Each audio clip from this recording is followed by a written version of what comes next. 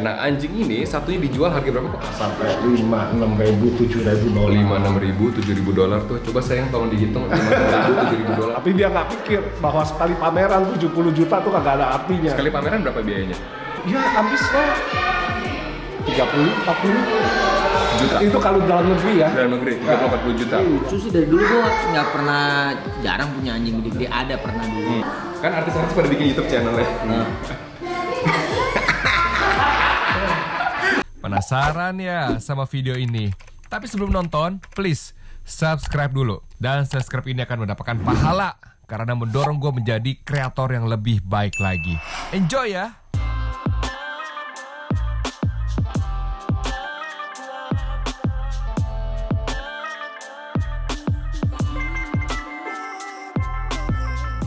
Eh, sap sap sap sap sap sap sap sap sap sap sap sap sap. Kamu sapin aku dong. Sap, sap, sap, sap.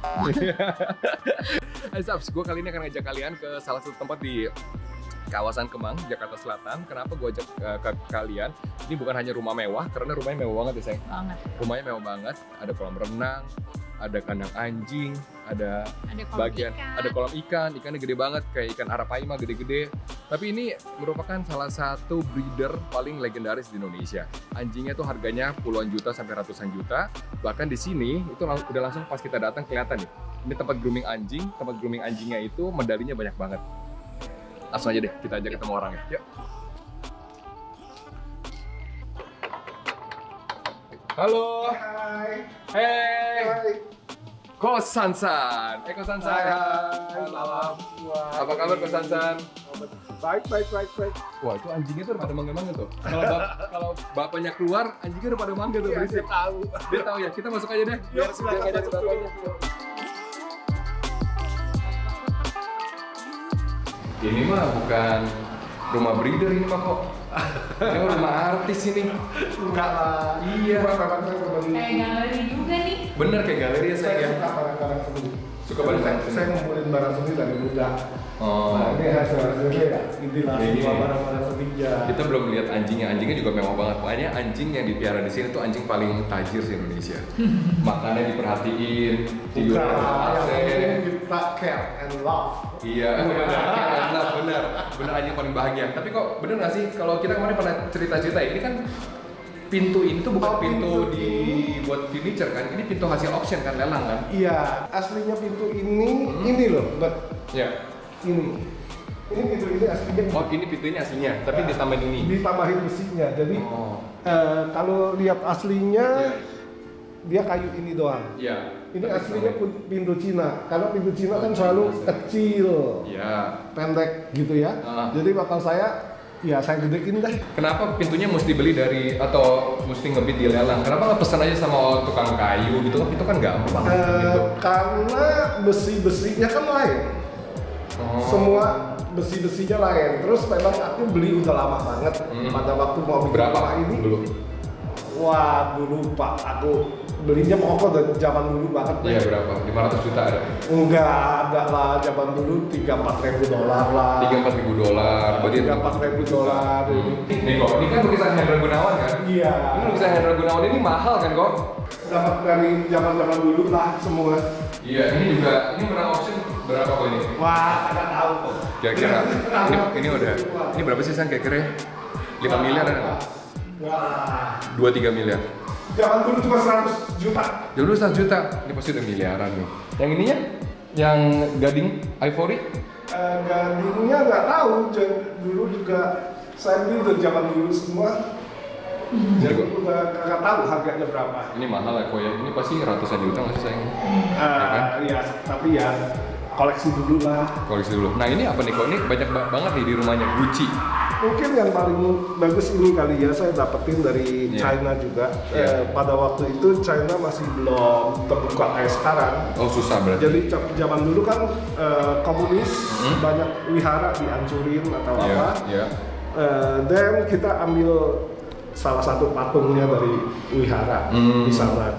Is bakal saya saya suka sekali sama patung ini Hmm. karena saya, eh, banyak orang datang kemari dia bilang patung ini ini patung apa ya patung Buddha Ya. di mana dia bawa uh, Happy Buddha. Happy Buddha. We call it Happy Buddha. Oke. Dia bawa uang, Ya. dia bawa rezeki. Ya. Nah, ini lihat uang-uang semua, jadi dia kayak Hmm. bawa rezeki. Oh, benar. Kita taruh depan rumah supaya Rezeki datang. Dan ternyata percaya nggak percaya berhasil. ya kan?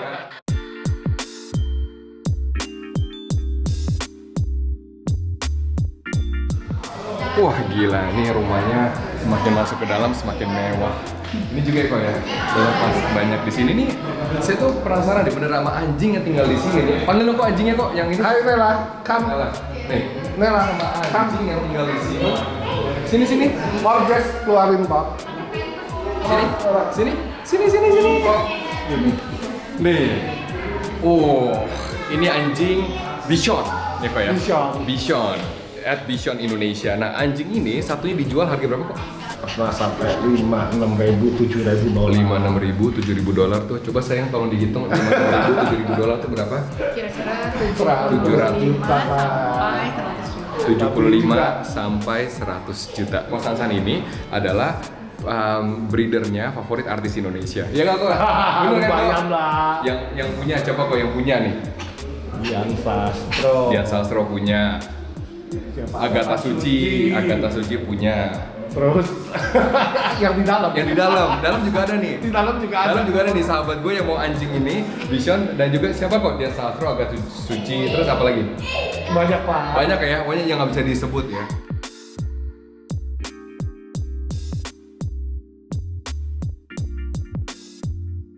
Ini Dian ini dari istana tua di India.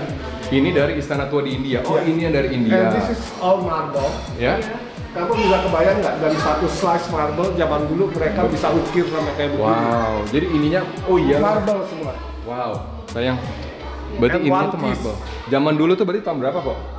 Ini zaman dulu eh, pada era Mogul era di India, Eh, era eranya orang Muslim ya Iya, di iya. India, princess nggak boleh dilihat orang kan. Betul. Jadi princess kamarnya selalu pakai beginian supaya Iya. dia bisa lihat luar, tapi Iya. orang nggak bisa lihat dia. Berarti ini dari tahun 1800-an ada? Nggak tahu juga deh. Waktu itu ya kayaknya 1800-an. 1800-an. Kalau pintu Cina di depan dari tahun Ya sekitar segitu. sekitar situ kan. Nih kok memangnya kalau ini kan pertanyaan kita ya sayang ya. Memangnya kalau koleksi barang-barang dari tahun lama gitu nggak takut ada Isinya. iya ada isinya. Saya nggak percaya sih ada isi-isi begitu. Ada nggak sih malam-malam tiba-tiba Enggak. Ada Malia, halo, semuanya. Lagi berkunjung. Lagi berkunjung. Nih lihat nih, Mas Lukman dan Dion Yoko ya kan tampangnya kan gagah ya. Maestro, ya kan, keren maco, ya kan, suka anjingnya, suka anjingnya begini nih, ini mas. Tapi mas, Gua kan masih calon. iya lu masih calon, tapi suka anjingnya begini. Eh, tuh, Oh, tuh. Mas Lukman mah udah ini. Udah. Ini anjing lucu banget tuh yang jadi ini tuh. Mas, lu kan gagah ya mas ya? Di Gundala aja lu jadi mafia, eh polisi ya? Politisi lah. politisi ya bener jadi politisi mafia gitu ya peran-peran lo kan keren ya kenapa anjing lu cakep banget ya begini Gue lucu sih dari dulu gue nggak pernah jarang punya anjing gede-gede ada pernah dulu. Hmm. Cuman sekarang gue ngeliatnya kecil-kecil waktu itu pernah punya mini Shih Tzu, oh mini sisu anjingnya terus ada Chihuahua Corgi, terus sekarang Bison nih punya. oh ya Ada di rumah. Lucu ya anjingnya Hmm. ini juga Dion Dion tuh calon bapak Bision Calon, masih calon. Ini masih menunggu Mas. menunggu beberapa bulan lah. bro dan Mas Lukman Mas Bro ini pertanyaan netizen nih Apa? kan artis-artis pada bikin YouTube channel ya Nah, Nah, ini pertanyaan orang nih, artis mana pada karena kan dunia YouTube itu sampai ada youtuber katanya, youtuber pensiun karena dunia YouTube itu udah di udah dipenuhi oleh para artis ya kan. Nah kapan YouTube channelnya keluar? Waduh, gue gue tuh bingung kalau ditanya suruh bikin YouTube. Gue bukan orang-orang yang kayak gue kadang-kadang bisa apa ya bikin YouTube apa nggak? Ada yang pada bilang lo bikin dong gitu. Ah. Cuman gue belum masih bingung kalau gue harus ngapain deh gitu. bener. Ih, ini ngapain? Ih, banyak banget Ini sama Dion punya banyak punya banyak karya nih. Orang ngeliatin lu aja biar anjing aja udah viewsnya jutaan mas. Nanti lah, nanti lah. Gue gue gue lah ada ke- kepikiran jadi mungkin bikin YouTube yang pada saat gue proses eh, proses menjelang syuting biasanya gitu. Oh, behind the scene-nya, Nah, film-filmnya ya. iya. Film-film tahun ini apa? Gue Hah? ada yang Banyak. ada nggak yang lagi syuting berhenti itu ada silence Iya, terus kalau yang gua produce itu kamu tidak sendiri. Ini akhirnya baru start syuting lagi. Oh. Setelah berhenti berapa bulan. Oh, udah mulai lagi. Oh, syukurlah. Sekarang produksi udah mulai lagi sih. Oh, iya, iya, Walaupun iya. belum terlalu banyak. Iya. Cuman problemnya protokol kesehatannya. Protokol kesehatan di mana? Di bioskop. Enggak, di kita syuting pakai Oh, protokol syutingnya. kesehatan. Iya benar sih. Dan Sama itu kosnya. iyalah. Jadi gini, pokoknya sekarang kalau bioskop udah dibuka harus datang ke bioskop. Soalnya buat film sekarang makin mahal. Iya. Jadi tiketnya tetap sama ya nggak bro? Dan kan bioskop pasti terbatas karena Iya, nggak terbatas. bakal bisa boleh full 100%. Iya sih benar. Ini yang punya rumah mana sih? Kok sini dong? Mana sih nih? Kok pada ke sana? Ini bapak pemersatu. Bapak pemersatu Bapak artis pemer- Indonesia. Iya. kita. artis Indonesia. Biasa kalau artis berantem di media ke sini damai ya kok ya? Damai. Damai ya. Damai sejahtera. Pasangan Gua nongkrong di rumah sini aja udah berasa damai. Kita nggak janjian hari ini ya? Iya, iya, iya. Iya kan kita nggak janjian hari ini. Janjian, serius ini. Ini bukan gimmick ya? Ini bukan gimmick, Pak. Ini bukan gimmick. Soalnya kita bukan youtuber kelas Oh, iya. gitu gitu ya. Dia kan yang pakai gimmick semuanya. Nggak pakai gimmick-gimmick. Nggak pakai gimmick-gimmick. Jangan pakai berantem ya. Nggak nggak pakai berantem ya. Pakai giveaway juga. Itu belum, itu belum. Giveaway Vision itu buat orang yang pengen banget tapi nggak bisa punya kok karena kan ini anjing memang anjing yang mahal ya. Hmm, Pusing gak langsung. kita sering sering kasih kasih anjing vision ke orang anjing yang eh, dia udah kita pakai beranak dua tiga kali Iya, empat iya, kali iya, iya. atau dia anaknya nggak memenuhi kriteria kriteria kita Ya oh dibanding itu kasih ke orang yang benar-benar pengen. jadi aku daripada aku piara sendiri kan aku banyak nih Iya, iya. 30-40 ekor Iya. daripada aku piara sendiri aku Mendingan. cariin rumah yang baik Adopsi, untuk diadopsi Untuk diadopsi benar sih. di mana kan anjing itu juga rezeki dong. Dapat Benar, majikan benar. yang sayang anjing satu-satunya. Contohnya yang ke rumah Mas Lukman udah kayak anaknya. Iya. jadi biasanya kita kasih yang the older older vision Older karena pada waktu anjing ini tua dia Iya. sifatnya lebih tame lebih Oh, lebih uh, jinak. bandel Lebih jinak. tapi banyak orang nggak mau dikasih anjing yang udah ada eh, udah agak umur dia bilang Iya, iya, iya. ah nggak mau ah sebetulnya Hmm. as long as kita sayang mau dia umur berapa aja dia Bisa, akan benar. ngikutin Berarti kalau anjing galak itu tergantung majikannya juga ya. Oh iya. Majikannya dia tuh- didikit, didikit gimana? Iya, itu sih. Kalau anjing galak itu berarti majikannya nggak bisa. Tapi kan kalau anjing tuh memang ada macam-macam ada yang anjing khusus emang anjing penjaga.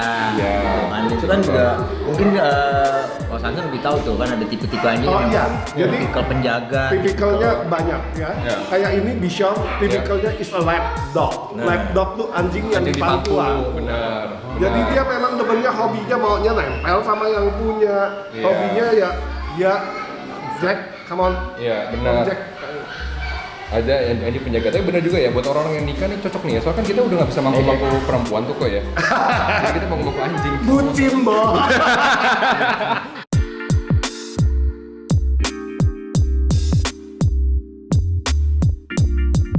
Dia tuh takut sama anjing sebenarnya, Ma. Makanya hari ini kita mau bawa, kita sebenarnya mau pilihin anjing juga buat Iren, biar nggak takut. Jadi aku tuh pengen banget kok punya anjing di rumah. Tapi Iren tuh nggak kasih uh, anjing di rumah karena dia takut. Nah, sekarang pertanyaan aku di gini. Gimana cara ngobatin fobia anjing?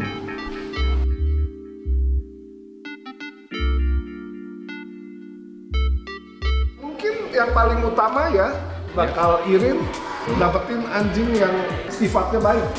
Irin anjing yang baik itu Kayak gini nggak baik kenapa nih? kita cari anjing bagus? Hah?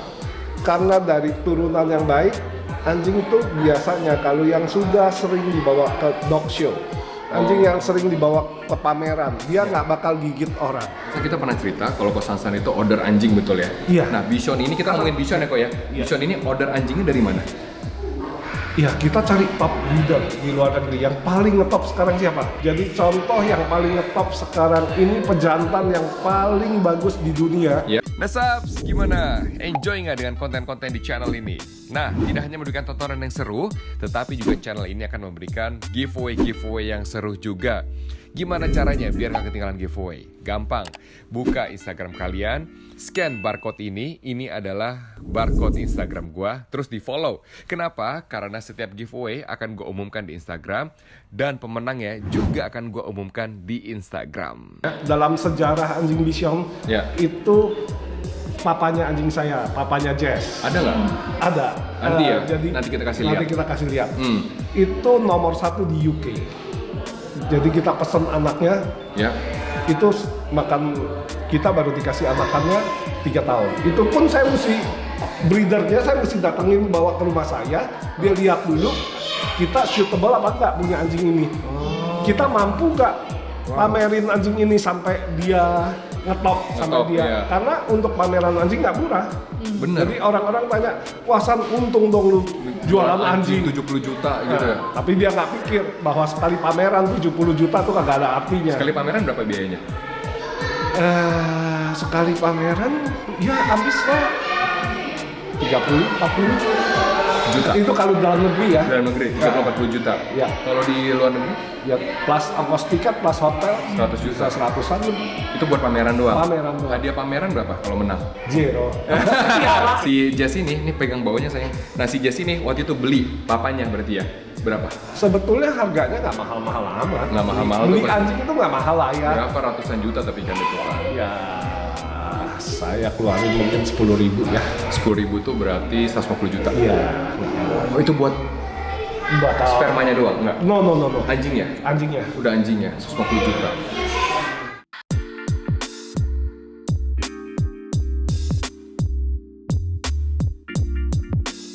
Kalau misalnya saya mau beli, berarti saya harus harus punya apa nih? Punya rumah yang bagus kah? Perawatan yang bagus kah? Uang yang cukup? punya komitmen yang kuat bakal bisa sayang dia itu yang paling penting Makanya harus datang ya. belum tentu loh orang kaya mau keluarin duit lebih eh, lebih banyak dari Orang orang, yang biasa. biasa-biasa Oh gitu. Nah, Tergantung ya. Iya, tergantung kalau dia punya komitmen dianggap itu kayak anak dia, dia so happy with Iya, iya. sama anak dia ya dia Iya. mau yang terbaik untuk anaknya. Jadi keperluan berapapun akan dia keluarkan untuk anak dia. Iya. Ini rumah breeder anjing paling tajir di Indonesia kayaknya nih. Agak lah. Iya nih lihat rumahnya nih tuh langsung punya kolam renang segini banyak, punya taman segini bagus tuh rumahnya juga bagus, dalamnya install semua. Pokoknya semuanya everything bagus ya sayangnya. Bagus banget. Enggak ini benar ini beneran rumah bagus lah. Keren gitu ya. Belum ki- nanti kita lihat ke sana. Mungkin abis nonton ini banyak orang kayak, eh Kostansa nih sukses gitu ya. Terus em, saya juga pengen jadi breeder anjing tapi saya kayaknya nggak untung-untung. Duitnya juga kurang, banyak nggak kayak Kostansan gitu ya. Tipsnya apa kok? Tips saya paling penting mungkin sebagus-bagusnya anjing Iya. without a good training, without commitment nggak bakal jadi bagus. Hmm. Jadi kita bisa aja kasih kamu anjing bagus, tapi kalau kamu nggak bisa ngerawat dan kamu nggak mau ngerawat bagus, Benar. gimana bisa bagus ya? Bener. Nah kalau misalnya breeder sekarang, terus gimana caranya breeder ini biar bisa kayak kayak Kostansan? Bingung jawabnya. Rajinan cari duit dong. rajin cari duit. Oh, rajin cari duit. Kok bilang dong, like, comment, and subscribe, and follow Vision Indonesia gitu. like, comment, and subscribe. Follow Vision Indonesia. Oke, thank you. Thank you. Thank you.